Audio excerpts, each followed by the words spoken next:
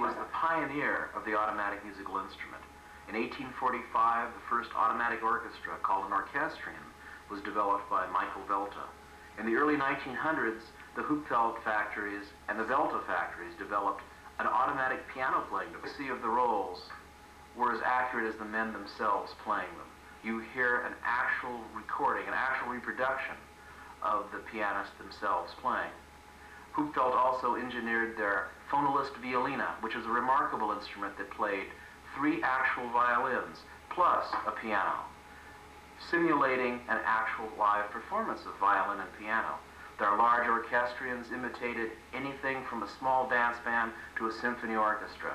Mind you, this was done without electronic speakers, by the actual playing of real instruments. Did that technology have a limit or could it the, the technology, unfortunately, came to an end by reason of economics.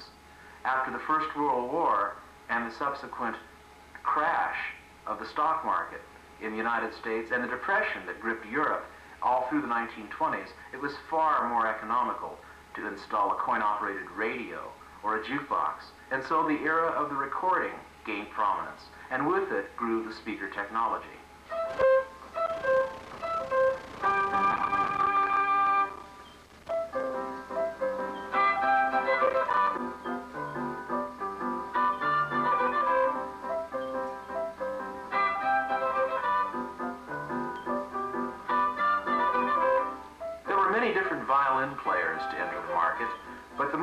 Musical, I feel, of all, was made by the Ludwig Hupfeld Company of Leipzig, Germany.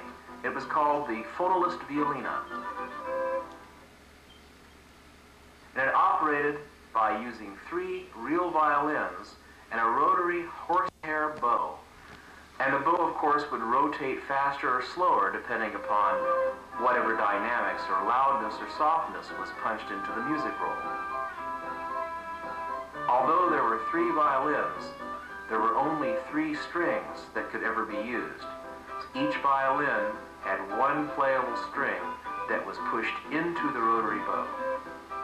But yet, some very exciting and credible arrangements were arrived at.